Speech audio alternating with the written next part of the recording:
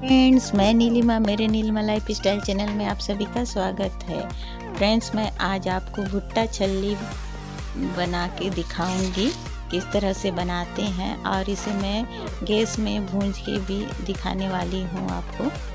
दो तरीके से मैं भुट्टा को आज आपके सामने पेश करने वाली हूँ और ये छिलका देख रहे हैं, इससे भी मैं आपको फूल बना के दिखाऊँगी। आने वाली वीडियो में मैं उसके छिलके का फूल भी आपको दिखाने वाली हूँ।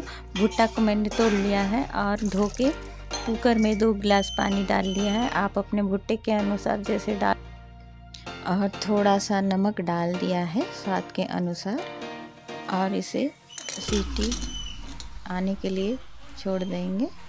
मैंने इसे तीन सीटी पे उतार लिया था।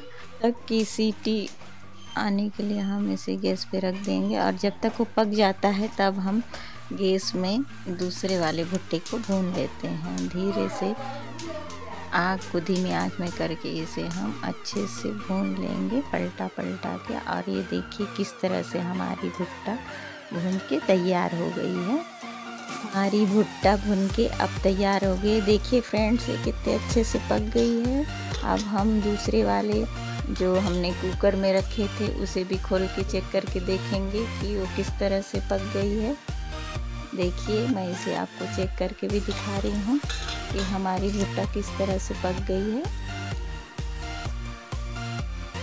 पक गई है और देखेंगे। उसके बाद एक प्लेट में मैंने नींबू नमक और मिर्ची लिया था, उसे हम साथ में मिला के इसके ऊपर से अच्छे से लगा देंगे। अगर आप बच्चे के लिए बना रहे हैं तो मिर्ची ना डालें।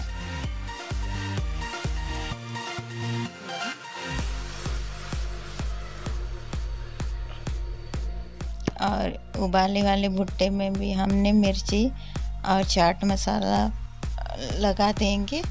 इसमें हमने नमक नहीं डाला है क्योंकि हमने इसमें पहले से ही नमक डाल दिया था, इसलिए इसमें नमक नहीं डालेंगे।